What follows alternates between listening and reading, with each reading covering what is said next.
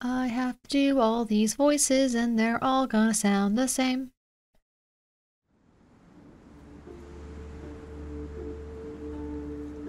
Welcome to Forsaken by Shadows, a story by Sarah Danielle.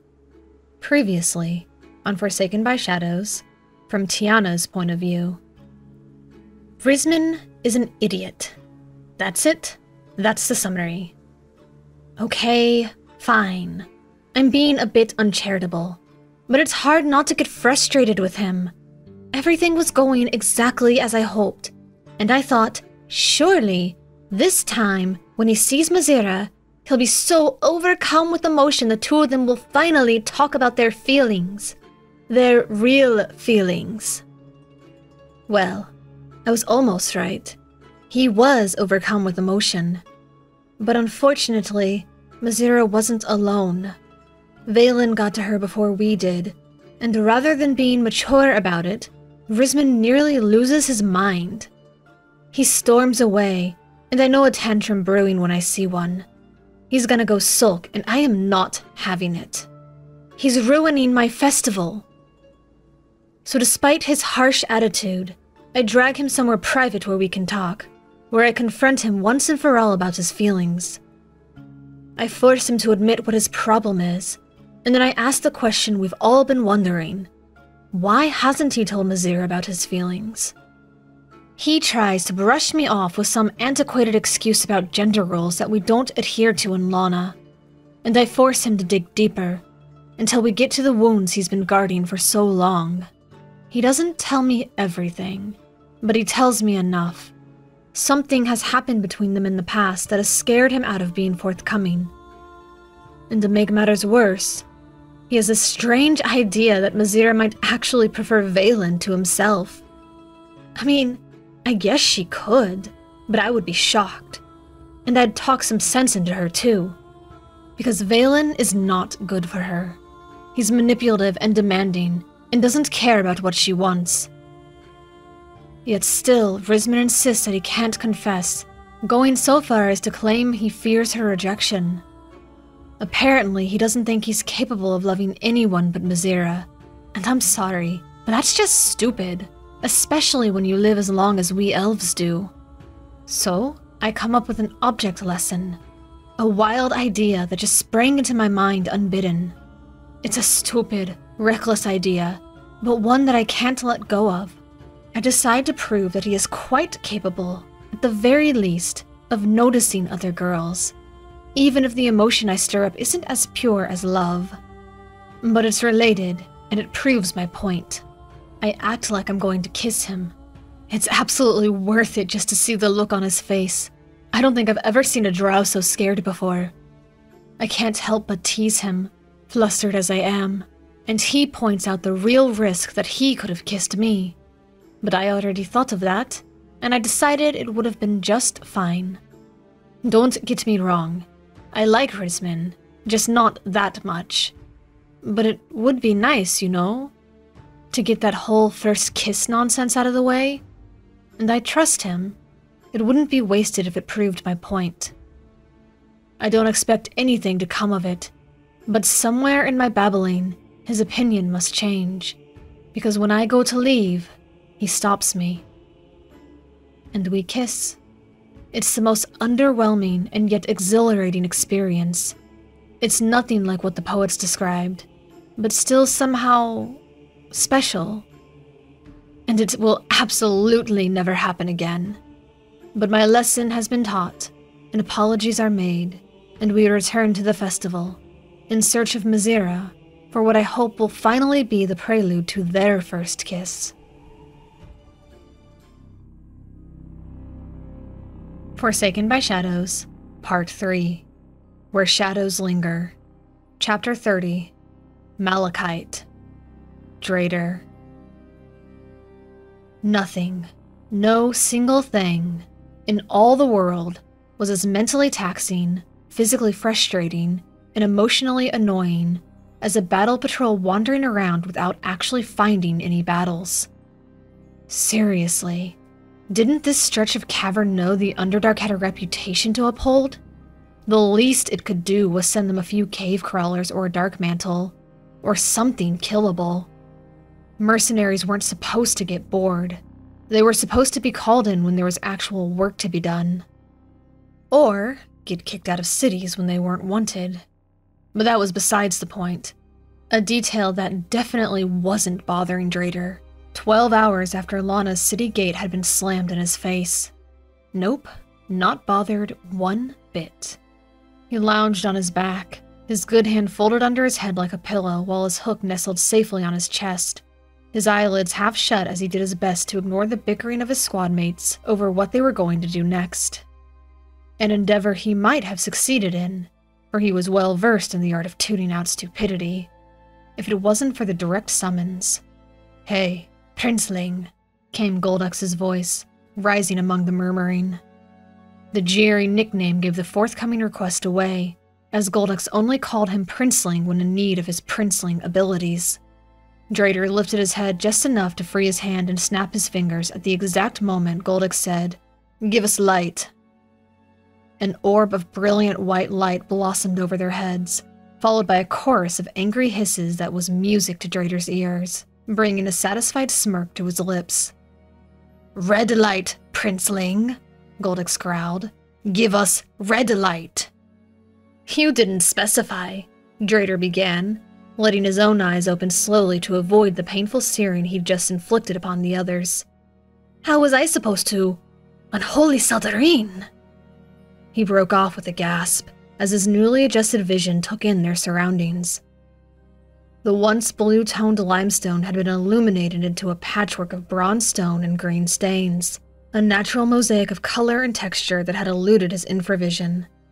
His gaze followed the design downward, and he reached out to trace the mineral beside him, cool even beneath his gloved hand. Look at all this copper, he breathed, marveling at the sheer wonder of the deposit, though it wasn't the copper that excited him exactly. It was the malachite, the brilliant green crystal just begging to be mined. Goldix rolled his eyes, waving a flippant hand at Dreder as if waving him away and unfolding a coded tunnel map the study of which had probably inspired the request for light. Have you never seen a copper deposit before? The question came from Arden, who had settled near Dreder, as he had every time they stopped for a rest, as if they were a merry pair of outcasts. His words, which had sounded curious rather than hostile, were some of the first he had spoken since they left the city. He'd been as stalwart in refusing conversation with the others as he had been with Dreder, Though to be fair, the others hardly tried. I've seen them, Dreder said, scrambling to his feet. He summoned a second orb of white light, bringing it near the wall as he scrutinized the stone. There's just so much of it, and this stone is unworked. The tunnels around Lana are pretty rich in it, Arden said, the shrug audible in his voice. Our active mines are in the southeast. And just like that, Dreder's excitement crumbled. He muttered a curse before remembering he wasn't supposed to say those words anymore. How was he supposed to impress Tiana with common crystals? She'd hardly be impressed with bare minimum minerals, and he'd insult himself by trying. No, he needed something else, something more suited to his intentions as her suitor, something worthy of her resplendent smile. Taking a step back, Dreder raised the orb higher searching the limestone for one of copper's less common companions, such as the multicolored bornite or the deep red cuprite. Yet as far as he could see, there was nothing else. Just great swaths of an interesting green. Wrinkling his nose, as though the wall had personally disappointed him by its boring existence, he drifted down the tunnel, taking his second orb of light with him. Where are you going? Arden asked, sounding concerned. Dreder gritted his teeth. Nowhere? But every eye was on him now, suspicion and ridicule traced in their features. Great. Did the Gloam not understand the meaning of minding his own business? Or at the very least, keeping his voice down? Just going to see what's around, Dreder added, affecting innocence. Since we're not in a hurry. Actually, we've just come to a decision. Goldix said, rolling up the map. We're taking. But Dreder stopped listening, his attention returning to the limestone wall.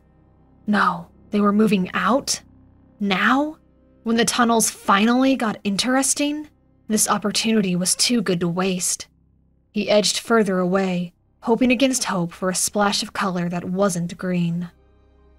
Tiglath, Nyman called, rising to his feet. Then he paused, a smirk creeping over his lips. Is this about the girl? Girl? Arden repeated. At the same moment, Dreder hastily said, No.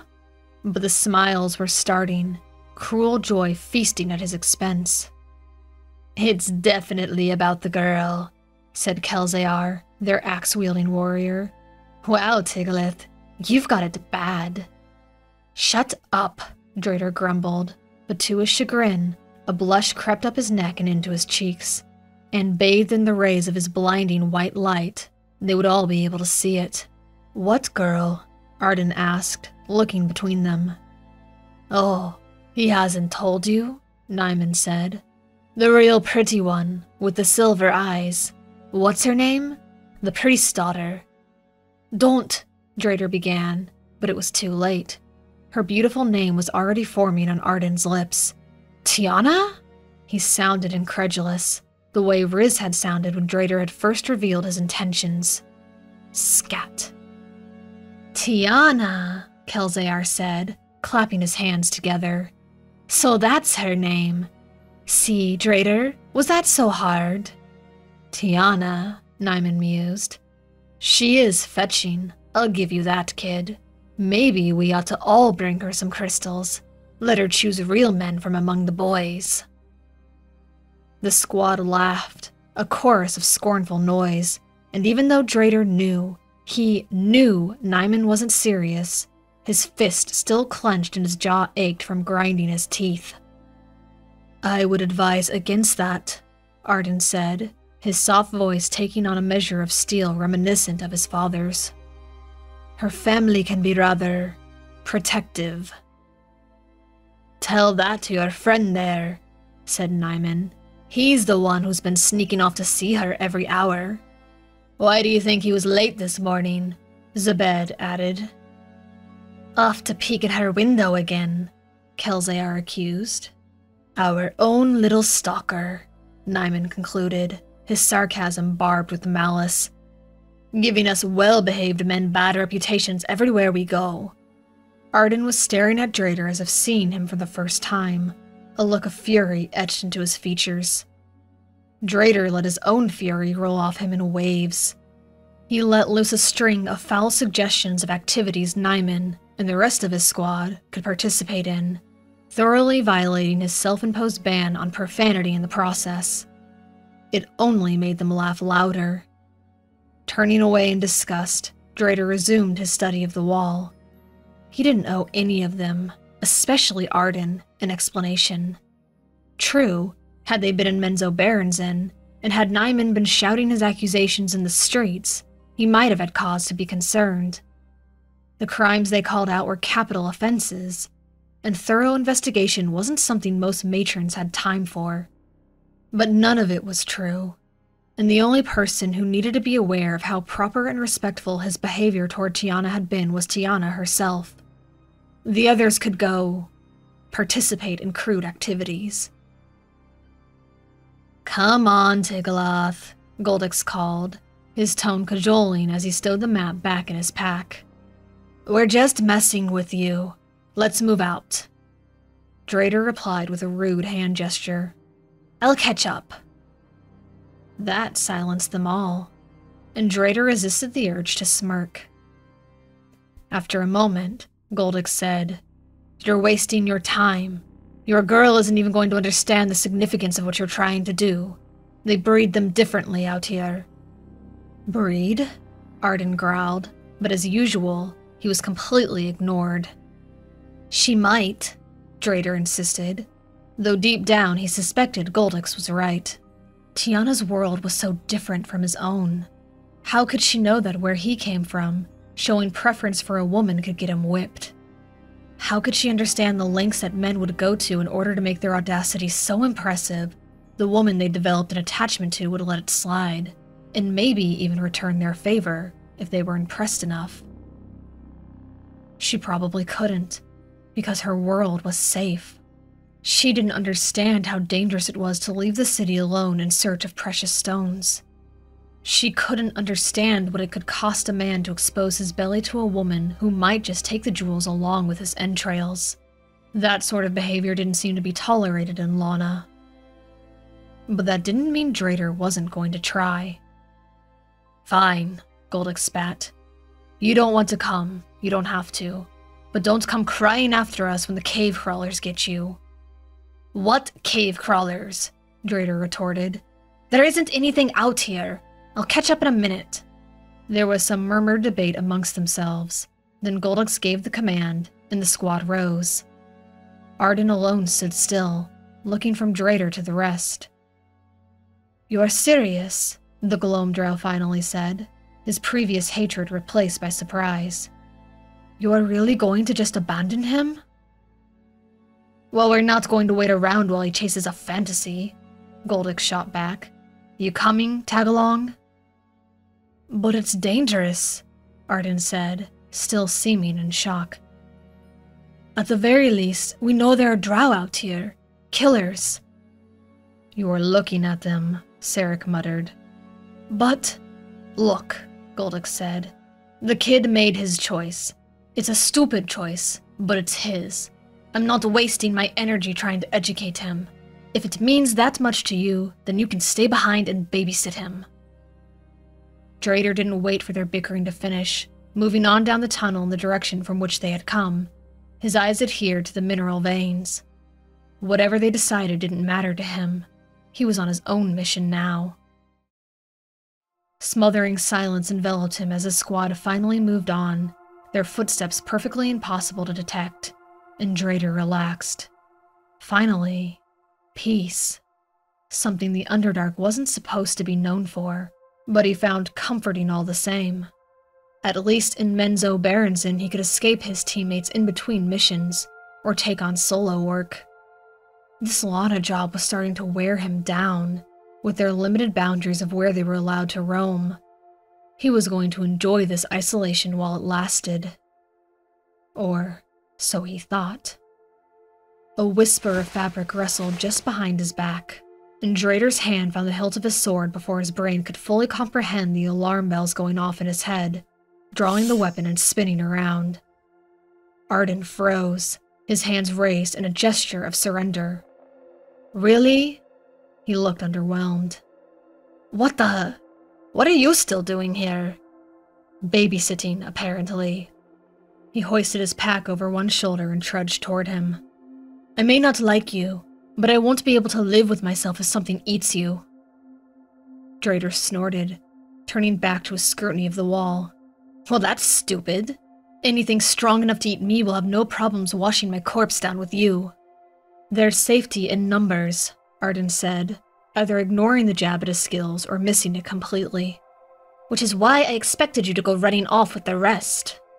Like I said, Arden grumbled, wouldn't be able to live with myself. Dreder glanced at him, lips pursed, hackles raised, not believing Arden for a second. No one just took risks for the sake of resting easier, and especially not for their enemies. That was how lifespans got quartered Look, if you're just waiting around for the opportunity to stab me in the back, let's just get it over with. Dreder twirled his blade in a pointless, yet artful display. I've been itching to know what skills your father passed on to you anyway. Arden's frown became a dark mask of disdain, and Dreder braced himself, ready for the attempted murder that was so clearly written on Arden's face. Yet rather than draw his own weapons, the Gloamdrow crossed his arms. Nothing. Come again? I learned nothing from my father, Arden said, his bleak tone sharper than Dreder's blade. He was too busy teaching brats like you. Now could you just finish up whatever game you're playing? We need to follow the others before they get too far ahead. Your stupidity is risking all our lives. Dreder gaped at him as he brushed by. What are you looking for, anyway? Arden asked, now officially saying more words than Dreder had ever heard from him before. I'll help if it speeds this up. He might as well have been speaking in a foreign language.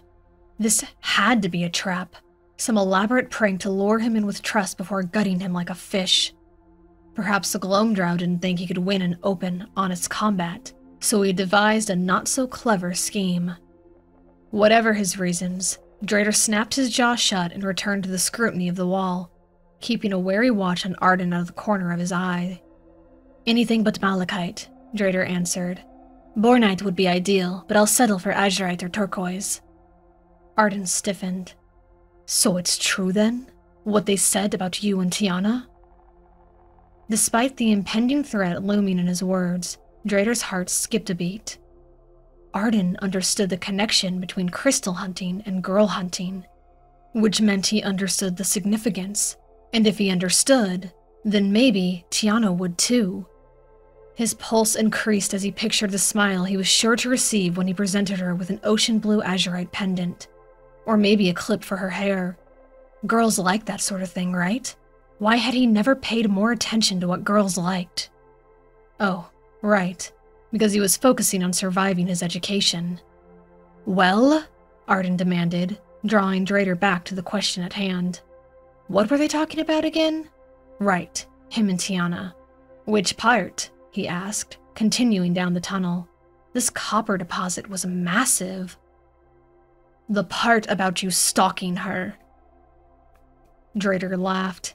Yeah, right. I'm not stupid. That's how you get your eyes gouged out. And worse, but some maimings didn't need to be mentioned. Then why would they say it? What? You never been hazed by your squad before? No. Dreder hesitated, once more taking his eyes from the copper vein to study the Gloamdrow. If he was a liar, he was one of the best Dreder had ever met. His simple, single syllable carried no bluster, no pride, nor even contempt. Dreder had asked him a question, and the answer to the question had been no. Lana was such a weird place. Oh, well, Dreder shrugged. You're missing out on a good time. They treat you so terribly. Dreder withheld an exasperated sigh. Had Arden missed his obvious sarcasm? Or did he just really enjoy pointing out the obvious? Yeah, well, scat happens. Scat? The Gloamdrow wrinkled his nose. Don't you mean. No, Dreder snapped, cutting him off with perhaps a little more force than necessary. He couldn't quite help himself, though. It was bad enough he had to change his entire vocabulary. Did he have to be called out on it, too? I don't. When Arden just looked at him, Dreder tossed up his hand. I'm watching my tongue, he explained, even though Arden didn't deserve an explanation. Riz says Tiana doesn't like coarse language. So you are stalking her? No, I'm courting her affection, Dreder said, with a roll of his eyes. They really did breed their drow differently out here. Respectably. You can ask Riz if you don't believe me. Then, under his breath, he added, why does everyone assume I'm a stalker? Gee, I dunno, Arden replied, though Dreder had meant it as a rhetorical question. Maybe it's where you come from, or the company you keep, or the profession you've chosen. They rounded a bend and found themselves in a wider chamber, a small forest of stalagmites clawing for the ceiling while their stalactite brethren reached down to meet them. A few of the pairs had already collided, forming hourglass columns. A narrow crevice cut through the center, and loose chunks of stone littered the cavern floor. They'd passed through here before, and Dreder hadn't cared much for the scenery then. Just generic blue tones typical of any normal cave. Now it was a treasure trove of potential. Dreder dropped to his knees, sifting through the stone even as he continued his argument with the tagalong. You know, you sanctuary folk sure do think highly of yourselves for people who claim to be all about love and tolerance, when you don't actually live it out. What's that supposed to mean? It means I keep hearing about how great and wonderful and kind and accepting your goddess and community are, Dreder said, lifting a stone to his light. A thrill coursed through him at the sight of a deep blue stain. Jackpot. He tucked it into his pouch and searched for another. But when it comes to celebrating her, You kick us out to do your dirty work. So what? She takes everyone but the mercenaries? That's not. You aren't. But he fell silent, just as he had when Dreder had pointed out that his fairy friend had no business on a drow hunt. Proof that Dreder was right once more. Yet after another false start, Arden finally ground out If you don't want to be treated like miscreants, then don't act like miscreants. Dreder barked a wry laugh. Now there's a novel idea, he muttered, rising to his feet. There were more stones on the other side of the crevice. I mean it, Arden insisted, tailing him. I've watched you all. I see how you treat each other, how you treat me. The elves who came to Lana came here to escape that. What Davian said at the gate was out of line, I'll admit that. But you have to admit that you all haven't exactly made your company appealing.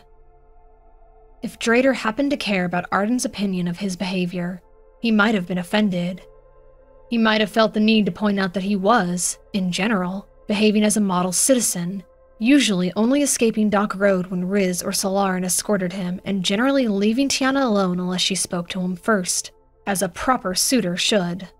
Arden's accusations were as unfounded as his squad mates, but Dreder didn't care, so he moved along, hopping over the narrow crevice to the side of the chamber.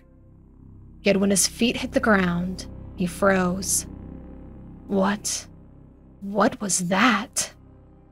He spun, bringing his lights over the crevice and staring down into what should have been a too narrow to matter crack in the ground. His heart stopped.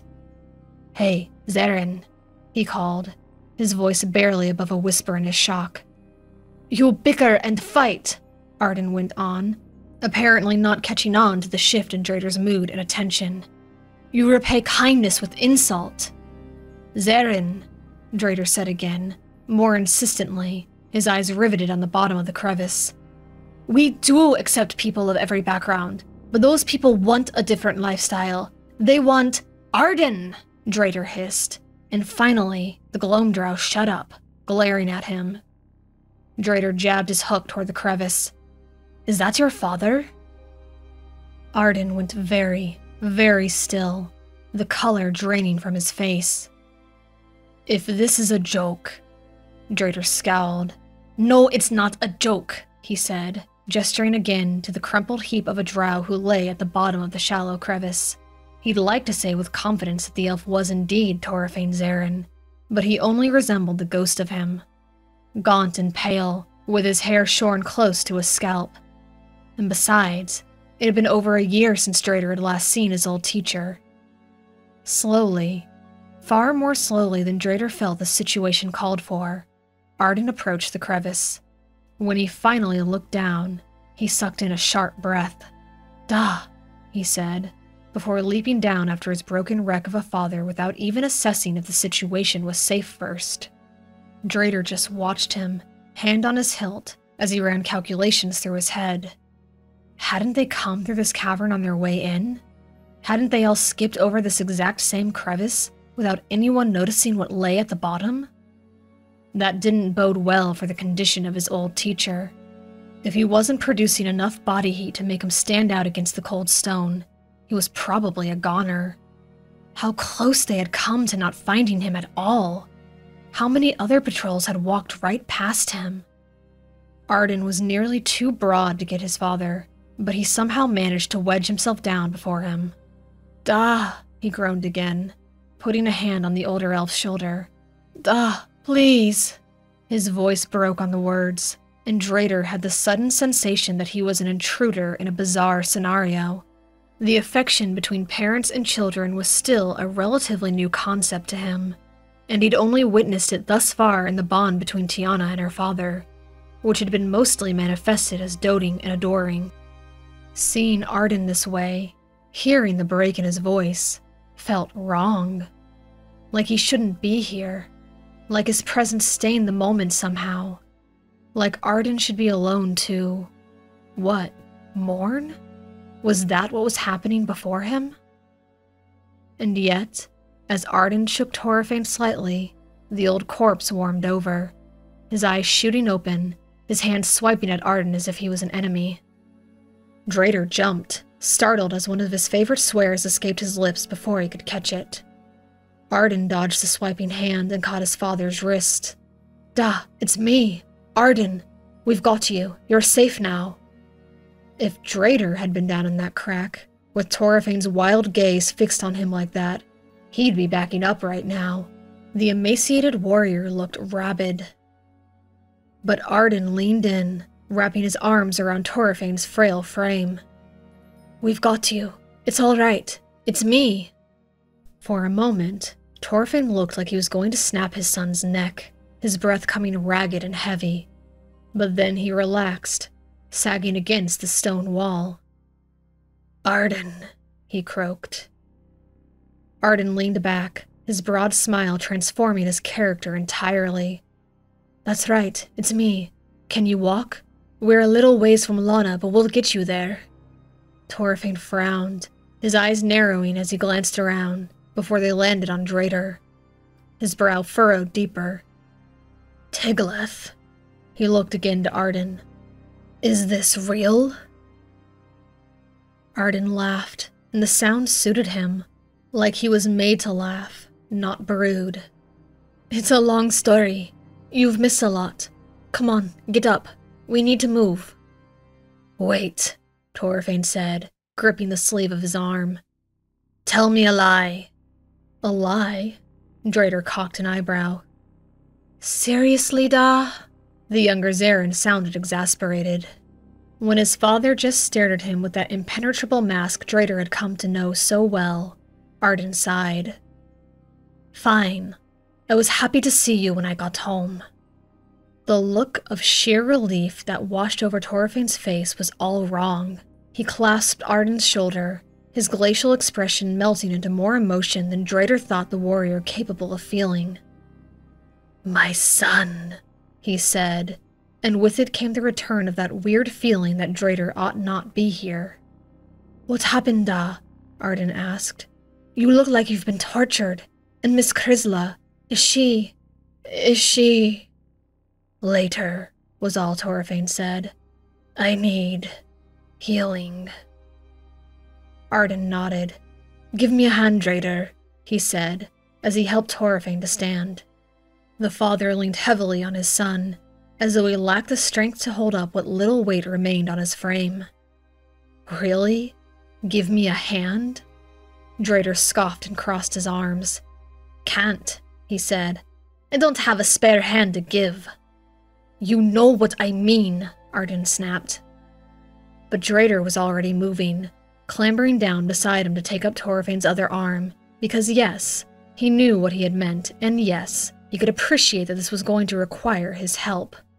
Yeah, well, you don't have to be so insensitive about it. Seriously? Arden glanced askance at him. That's what you're choosing to take offense to? They hoisted Torfane between them, and Dreder wrinkled his nose. He didn't just look like a corpse, he smelled like one too. Definitely not a good sign. Can you levitate, Tagalong? Yeah, Arden said, surprising Dreder by not arguing. Without any further coordination, they kicked off the ground, their magic catching them before gravity could. They drifted upward and settled on the side of the chamber where Dreder had been hoping to scrounge up some more azurite. We should get the others, Arden said. Do you have some way to communicate with them? No, said Dreder, with a scornful laugh. He tapped the rune he wore around his neck. Only works one way and I'm at the bottom of the barrel. One of us will have to run then, Arden said, then swore. The cavern forks up ahead. Do you remember which fork they were planning to take? We don't have time to be wrong. Dreder merely shrugged. I wasn't listening. Seriously? That seemed to be a favorite word of his. What? Dreder said, defensive. I didn't know there was a fork and I was busy. You obviously weren't, or you wouldn't be asking me. I was distracted by your impudence. Boys, Torfane growled, and Dreder jumped. He'd almost forgotten the warrior was still alive, let alone conscious. Squabble on your own time. We need to get back to Lana. Immediately. Lives depend on it. For an elf who couldn't support his own frame without assistance, he sure could command a cavern. Dreder and Arden exchanged brief glances over his head, then set off at once, half dragging, half carrying the sickly warrior back toward the city. Dreder let his dancing lights wink out, plunging them into darkness as they left the copper chamber behind. He'd only snagged one chunk of azurite, but that concern had dropped to the bottom rung of his list. They didn't speak again, they just trudged on, through tunnel after tunnel, until at length the welcome sound of the thunderous waterfall rose over their steady breathing. Up ahead, a rosy glow painted the tunnel wall a dull red, enough to flicker their vision into the natural spectrum, as if tendrils of the Lawnite cavern had reached out to greet them. Finally, Dreder muttered.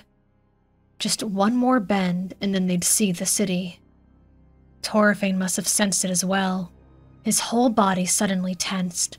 Then he was moving, scrambling, disentangling himself from their support and shuffling forward, as if the taste of home had awoken a fervent hunger in his soul. Da! Arden called, as his father surged ahead. Torfane didn't make it far before he tripped, sprawling face first on the stone. Arden rushed to him, but Dreder looked away, ashamed to see the elf he'd admired so greatly fall from such heights. This was the elf he'd been plotting his revenge against for over a year? He wasn't convinced the gods hadn't beat him to it. It wasn't enough to just look away. Dreder turned his whole back, and that single act of disappointment was probably the only thing that saved his life. Dreder barely had time to make sense of the black bladed sword cleaving straight for his face. There was no time to draw his own weapon, no time to shout, no time to duck or roll out of the way. All Dreder could do was raise his right hand to block the downward descent of the weapon. His right hand, which happened to be made of the highest quality of drow crafted adamantium his coffers could afford. And even in his exile, his coffers ran deep. The clang and shower of sparks was enough to alert Arden to the danger, as evidenced by his swearing, while Dreder braced his hook with his good hand, grunting from the effort of holding back the black sword of Teloriel Tear. Teloriel Bloody Tear. Son of a matron. He should have known. I remember you, Teloriel said, offering him the barest hint of a smile. The boy from the bar. He reared back, and Dreder took the opportunity to wrench his own blade from its scabbard, just in time to parry the next attack. But his footing was all wrong, and he nearly lost his balance. The boy who lost his hand to my little brother. This was bad. This was really, really bad. They shouldn't have traveled without their whole squad. They should have taken the time to fetch them. Dreder wasn't stupid. He was an excellent swordsman. But Teloriel was a legend. The outcast from House Tiglath, Teloriel concluded, his sword swiping with each statement. Dreder gave more ground with each attack, barely defending the blood in his veins. He was vaguely aware of Arden and Torfane at his back, was fairly certain he'd heard weapons drawn somewhere between the ringing of steel on steel, but it did him little good. The tunnel was too narrow to make room for an ally. And then, Teloriel stopped. One moment, he'd been stabbing relentlessly. The next, he hesitated, staying in the ready position, but no longer advancing. Dreder took two more steps back, finally able to adopt a proper stance. Teloriel smiled, like he found him adorable. We all heard you were a disappointment, he said. But did you have to be a traitor, too? Dreder narrowed his eyes. Melee-Magthere didn't teach them to talk through their fights, and they certainly didn't teach them not to press seat advantage while they had it. So what was Teloriel doing? Taunting him? Playing with him? Who the hell are you? came Arden's growl, from somewhere just over Dreder's shoulder. Oh? Does my reputation not precede me? His eyes flicked from Dreder to Arden and back. Would you like to handle the introductions, or should I? Something wasn't right. He was talking entirely too much. His reputation did precede him, and from what little Dreder knew of the infamous eldest son of House Tyr, this kind of chatter didn't suit him. Granted, he'd never met the elf personally, only stood in a class while he presented. And to think, back then he wanted to grow up to be just like him. Funny how priorities changed, though he wouldn't mind dipping into that same level of notoriety and skill, and maybe fearsome uh, focus, Dreder. He dared to glance over his shoulder, assessing what was behind him. Arden stood close, weapons drawn, as he'd suspected. Torfane had managed to pull himself to his feet, but he leaned heavily against a wall, and his breathing was already labored. Gods, they were so close. So close to getting him back to Lana, to earning himself a nice fat reward and the admiration of Tiana, to. Wait a moment. That was it. You must have missed my handiwork on the bodies we left in the river, Teloriel said, his attention now fixed on Arden. But I'm sure you can admire what I've done to your father, I presume? His lips curled in disgust over the word. And of course, it worked. Arden cried out in wordless fury, attempting to shove past Dreder to get to Teloriel, but Dreder was onto the game now. His hook snaked around Arden's rising arm, and he yanked the Gloamdrow back with enough force to pierce the sleeve of his adamantium armor and send him staggering back. Take your father and get out of here, Dreder hissed, when Arden turned his big, innocent fairy drow eyes on him, betrayal written all over his features. What? Get Torfane and go! I'm not running like a coward! Oh, for the love of. Dreder shook his head. Look, if you want to make his day, by all means, run in like an idiot so he can mince you up. But if you really want to piss off the elf who tortured your father, you'll hightail it around the corner and throw the biggest goddamn tantrum you can and maybe get some of the Law Knights off the wall to reinforce us. An ugly look overtook Teloriel's face, confirming Dreder's suspicions. Teloriel wasn't taunting them for fun. He just didn't want to get too close to the source of light behind them, as he rightfully assumed it came from a civilization. He'd probably stalked them the entire way here, waiting for them to show him the way to Lana, making a gamble of when close enough would become too close. And now that they had reached the turning point, the last thing he wanted was for Torfane to take back whatever knowledge of his plans he possessed. It's what Dreder would have done, at least. Realization dawned on Arden's face as he glanced from their enemy to the red light painting the wall behind them. But you, you'll be alone. Please, Dreder said, sneering for good measure. Haven't you heard? I'm a goddamn prodigy. He twirled his sword for good measure, though it was all for show. There was no reality in which he survived a one on one duel with Teloriel. He just had to survive long enough for Arden to get reinforcements. And that, he was fairly certain he could do. Probably. Maybe. If we both run, he'll overtake us, Dreder murmured. One of us has to stay and keep him busy. So get going, and don't you dare abandon me out here, or I swear to both Seldarines I will haunt you for eternity. Arden hesitated for one precious heartbeat, looking torn, before he spun on his heel and rushed back toward the city. Teloriel cursed and drew a throwing knife, hurling it past Dreder's head. Dreder tried to knock it aside, but his reflexes weren't quite that well tuned, and the knife landed with a sickening thud and a ah. cry of pain. There was no point looking to see who it hit, nor what their condition was. He just had to hope that one of them made it and did their job, which left Dreder to hold up his end of the plan. He surged forward, slashing at Teloriel with his blade to prevent him from getting off another throwing knife, and of course, Teloriel deflected his attack easily, drawing his second sword. Aren't you a clever little boy? He hissed, as the flurry of slashes began.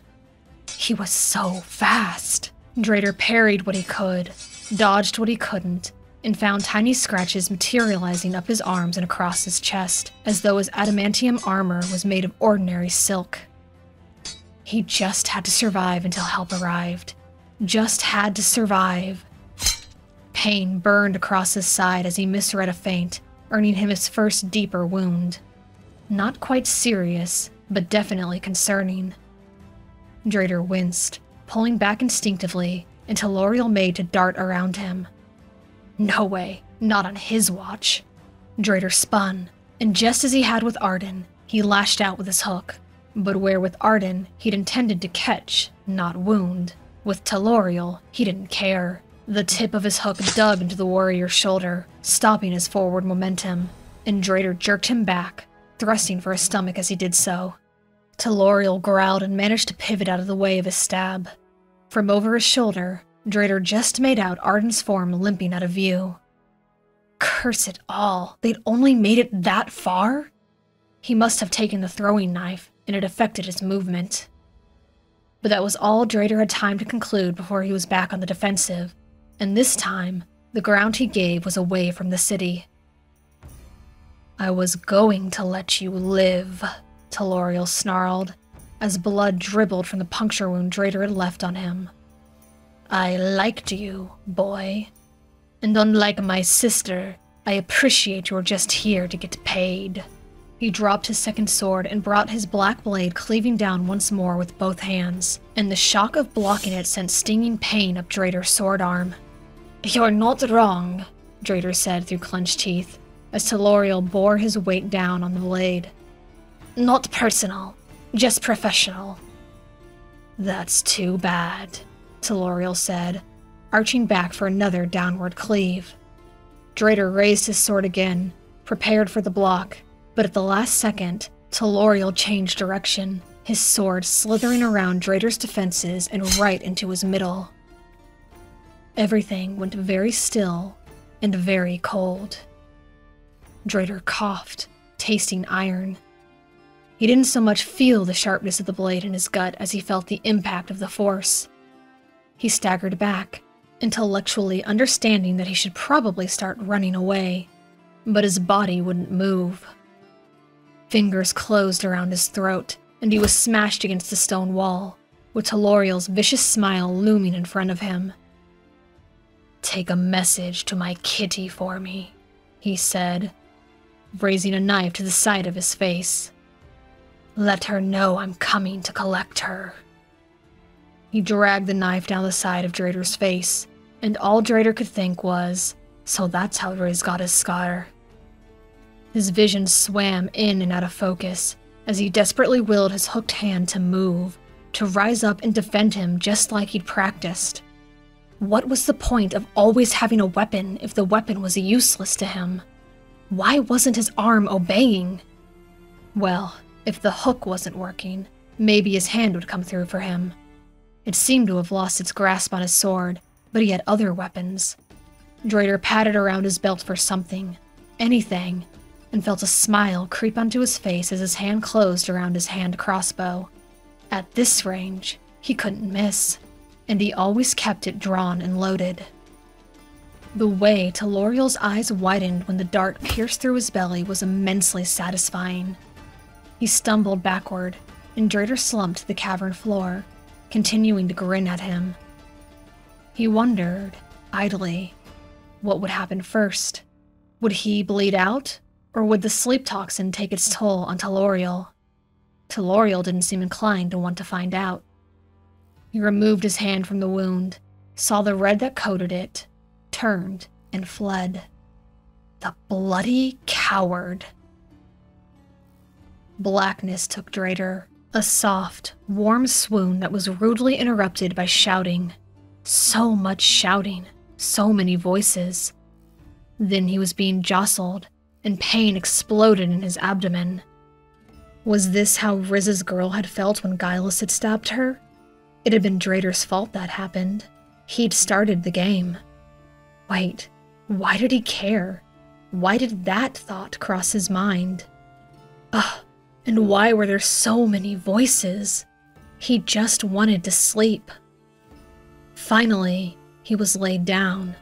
Not necessarily on something soft, but at least something flat. The last thing he heard before succumbing to the blackness once more was a stern voice shouting, Someone go find a priestess!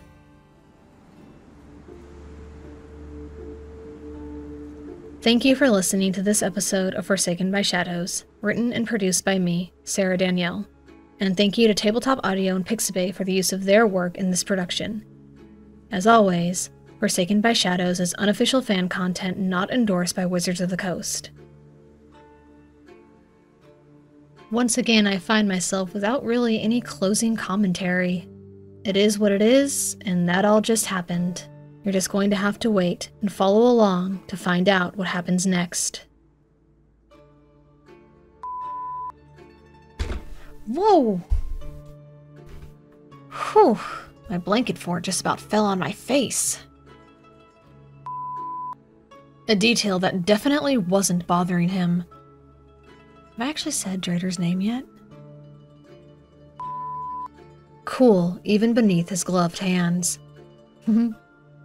Whoops. Cool, even beneath his gloved hand.